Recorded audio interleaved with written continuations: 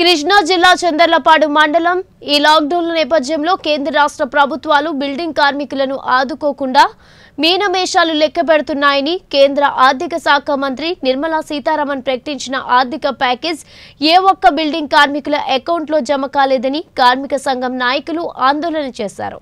కేంద్రం చెప్పే మాటలకు చేసే పనులకు పెద్ద ఎత్తున వ్యత్యాసం కనబడుతోంది. కేంద్ర ప్రభుత్వం మాటల ప్రభుత్వం తప్ప చేతల ప్రభుత్వం కాదని మరొకసారి బిల్డింగ్ కార్మికుల విషయంలో బట్టబయలైంది. ఇలాంటి పరిస్థితుల్లో రాష్ట్ర ప్రభుత్వం చొరవ తీసుకుని కేంద్ర ప్రభుత్వం నుంచి నిధులను వెంటనే విడుదల చేసి ఆదుకోవాలి. లేకపోతే బిల్డింగ్ కార్మికుల సంక్షేమ బోర్డు నిధులను ఇచ్చి ఆదుకోవాలి. అలా చేయకుండా రాష్ట్ర ప్రభుత్వం కార్మికుల జీవితాలతో ఆడుకోవడం నిజంగా బాధాకరమే. ఈరోజు కేంద్ర రాష్ట్ర ప్రభుత్వాలు బిల్డింగ్ కార్మికుల జీవితాలతో ఆడుకుంటా ఉన్నారు.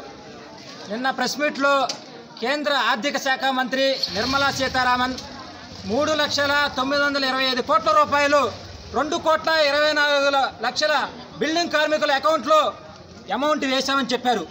మరి ఈరోజు బిల్డింగ్ కార్మికులు మా వెనకే ఉన్నారు. ఎవరైనా అకౌంట్లో నిర్మలా సీతారామన్ కేంద్ర శాఖ మంత్రి చెప్పినట్టు ఏ అకౌంట్లో డబ్బులు పడ్డాయా అంటే ఎక్కడా పడలేదు. ఈరోజు జగన్మోహన్ రెడ్డి గారికి ఒకటే చెప్తా ఉన్నాం. అయ్యా మీ ప్రభుత్వం వచ్చినప్పుడు వరదలు పెరిగి ఉసుక రాకుండా ఇబ్బంది పడుతున్నప్పుడు బిల్డింగ్ కార్మికులు మీరు ఆదుకుంటారని ఎదురు చూశారు. నెలకు పదివేల రూపాయలు చొప్పున నాలుగు నెలలు నలభై వేల రూపాయలు ఇవ్వాలని ఇదే ఎంఆర్ ఆఫీస్ ముందు పెద్ద ఎత్తున కార్యక్రమం చేశారు.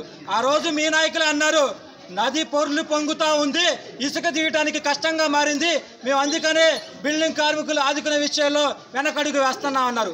ఈరోజు ఏ నది పొర్లు పొంగుతూ ఉంది? కరోనా నేపథ్యంలో యాభై రెండు రోజులు జీవన పరిస్థితి దయనీయంగా మారితే మీరు డబ్బుల విషయంలో వెనకంజ వేస్తూ ఉన్నారు మేనమేషాలు లెక్క పెడతా ఉన్నారు. ఈరోజు వాళ్ళు అడిగే అమౌంట్ సంక్షేమ బోర్డు నిధుల నుంచి వాళ్ళు కష్టపడ్డ డబ్బులు వాళ్ళకి ఇవ్వడానికి ఈ ప్రభుత్వం ఎందుకు మేనమేషాలు లెక్క పెడతా ఉంది అని సిఐటిగా మేము అడుగుతా ఉన్నాం. కాబట్టి కేంద్ర గవర్నమెంట్ ఒక రకంగా అబద్ధం చెబుతా ఉంది రాష్ట్ర గవర్నమెంట్ ఒక రకంగా అబద్ధం చెబుతా ఉంది. ఇరవై తొమ్మిది రాష్ట్రాల్లో తెలంగాణ ఆంధ్రప్రదేశ్ తప్ప మిగతా రాష్ట్రాల్లో బిల్డింగ్ కార్మికుల అకౌంట్లో డబ్బులు వేశారు. ఏ ఈ రెండు రాష్ట్రాల్లో ఎందుకు వేయట్లేదు? కార్మికుల పక్షాన మీ ప్రభుత్వం ఎందుకు ఉండట్లేదు అనేది కూడా బిల్డింగ్ కార్మికులుగా మేము అడుగుతా ఉన్నాం.